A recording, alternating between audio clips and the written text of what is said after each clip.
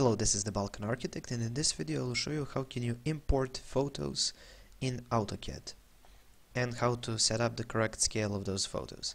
So now I'm in just an empty project. I'm just going to go here into Insert tab. I'm going to find the attach and click it.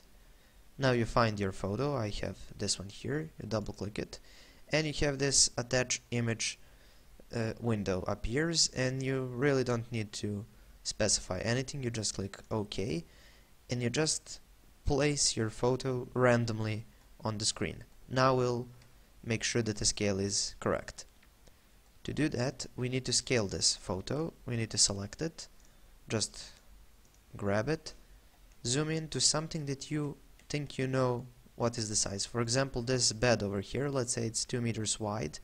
So I'm going to use that for reference so I'm just going to use the scale command, scale, enter, click on one side of whatever you know what size it is. And now this is quite an effective way to scale, so I'm just going to come here and click reference. So I'm going to, and also I'm going to turn on the ortho mode. And now click on one side to another side zoom out and just type in the dimension. This is actually 2 meters, so I'm just going to type 2 and enter. I'm going to move it a bit up. So now we know this is in correct scale. If you're not sure, just use the distance command, di or dist, and just make sure that it looks right. This is around 80 centimeters, that looks quite right. So we can say that our scale is correct.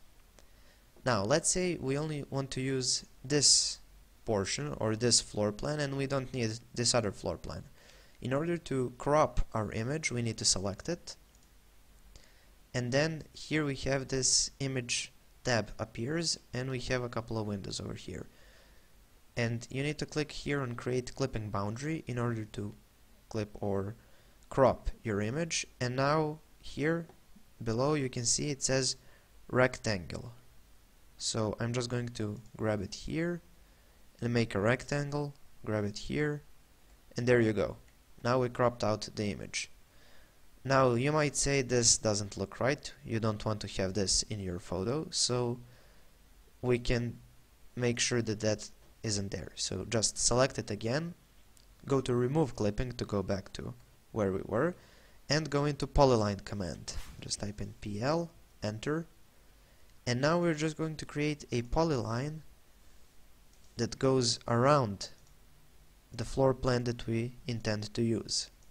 So I'm just going to select it here and you can either close it or you can just type in C and enter to close it. So now when I select it I have a polyline that encloses the floor plan I want to use. Now I'm just going to select this image. I'm going to go to create clipping boundary and here I'm going to click select polyline.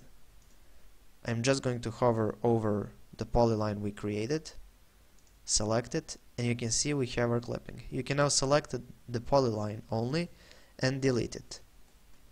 And when we select this photo you can actually change the cropping if you want to remove something or you don't like the cropping. Okay now when you want to draw over this it might be hard because it's a white background, so you can select it, go into here image, and you have this fade option. So you can turn on fade, so right now we can still see walls, but if we draw over them, we'll see our lines. And if you already had something on your drawing and this image is blocking it, you can select it, right click, go to draw or order and send it to back.